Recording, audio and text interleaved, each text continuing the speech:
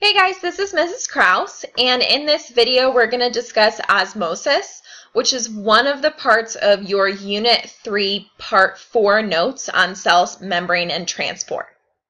Okay, so osmosis, we've already talked about simple diffusion and facilitated diffusion at this point, but unlike those two um, types of diffusion, osmosis only involves the movement of water across a selectively permeable membrane. And remember, a selectively permeable membrane lets certain things across, but not others. So in this case, the membrane is allowing water to pass across the membrane, but not necessarily other particles. Okay. This is a passive process and the reason it's passive is because water is moving down its concentration gradient.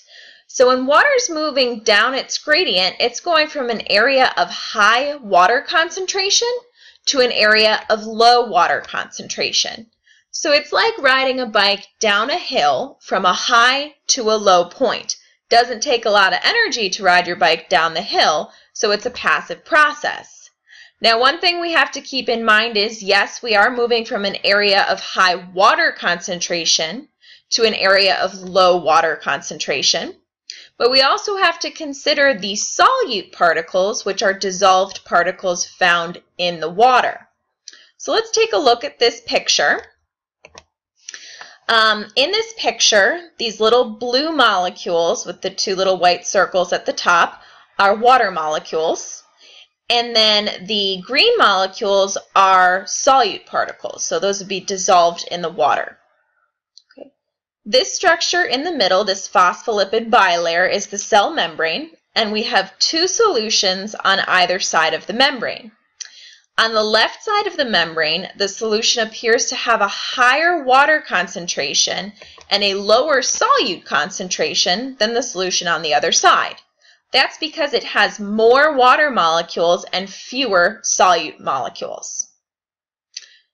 Okay, so on the other side, that means we have a lower water concentration and a higher solute concentration. We see that we have fewer water molecules on this side and we have more solute particles. So we know that water is going to move from an area of high water concentration over here to an area of low water concentration over here. So water should move from the left side to the right side of the membrane. Now, if we weren't considering water concentration and we just knew the solute concentration, we might say the water was moving from an area of low solute concentration to an area of high solute concentration. So that's why I included this up here. In osmosis, water's moving from an area of high water concentration, which means there's a low solute concentration, to an area of low water concentration over here, which means it has a high solute concentration. Now, we've got three main types of solutions that we're going to be looking at that we could place a cell in and have osmosis occur across the cell membrane. Those three types of solutions start out with the prefixes iso, hypo, and hyper. So I want to look at what those prefixes actually mean. Iso means the same. So an isotonic solution outside the cell should have the same both water and solute concentrations as the solution inside the cell. Hypo means low. So that means the solute concentration outside the cell in that hypo solution is going to be lower than the solute concentration of the solution inside the cell. I find that a little bit confusing because I always like to think about the water concentration instead when I'm predicting the direction of water movement, but hypo does refer to the solute concentration of that outside solution. Hyper means high, so that type of solution outside the cell would have a higher solute concentration than the solution inside the cell. So let's take a look at some pictures of cells in those types of external solution. So yes, our first type of solution starts with iso and it ends with the term tonic. In fact, all of the solutions end with tonics. We've got isotonic solutions, hypotonic solutions, and hypertonic solutions. But in an isotonic solution, that solution outside the cell has the same water and solute concentration as the cell itself. And that makes sense because iso means the same. So this external solution, this isotonic solution in my picture, has 10% solute and 90% water. If I add them together, I get 100%, so those are the only two things in that solution.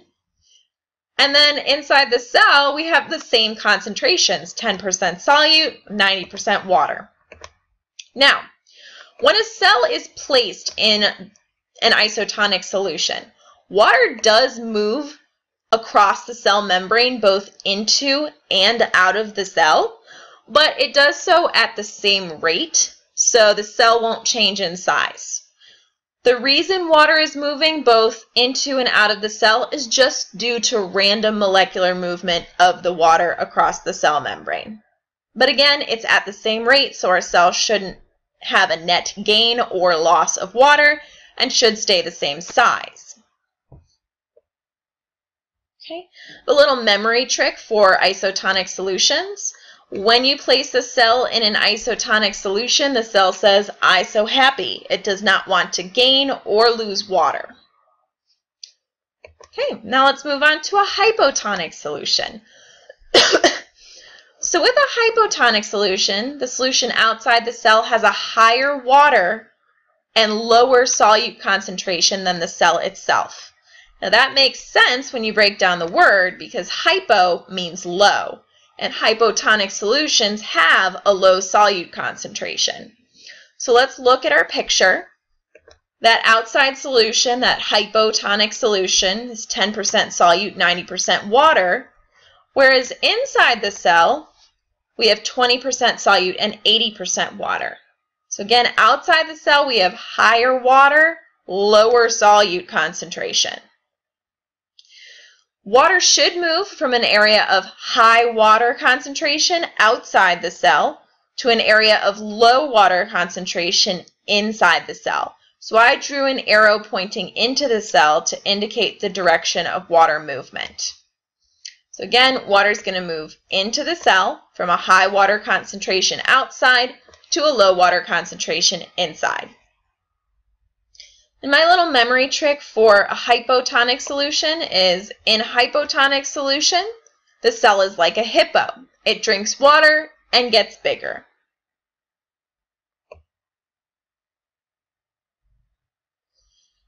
Okay, our next type of solution is a hypertonic solution.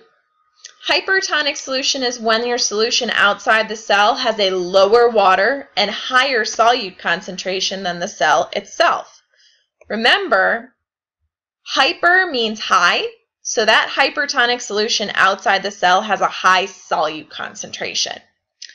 Looking at our image, the outside environment has 15% solute, 85% water, whereas inside we've got 5% solute and 95% water.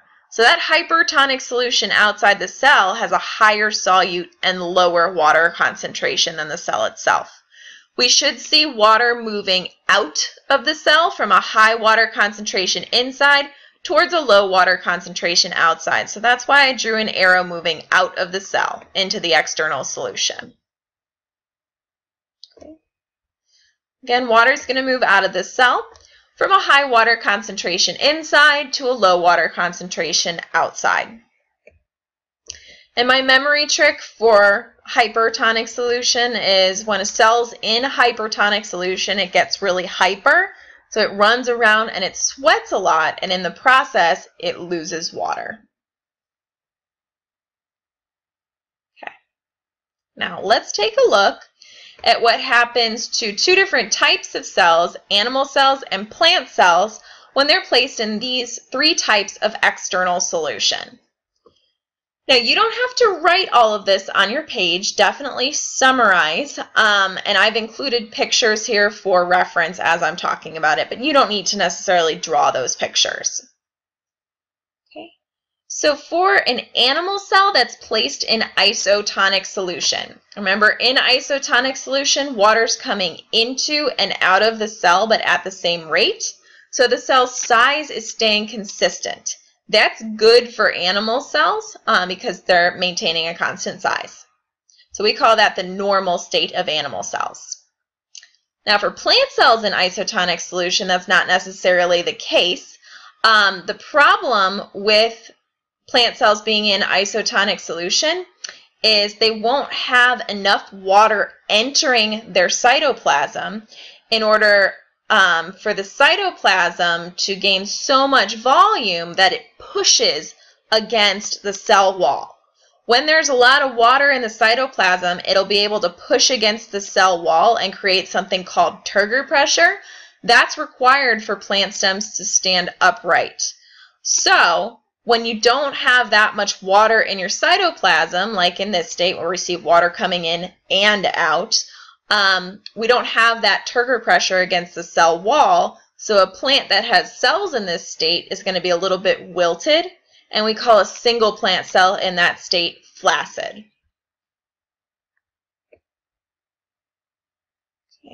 Now, let's say we were talking about a hypotonic solution.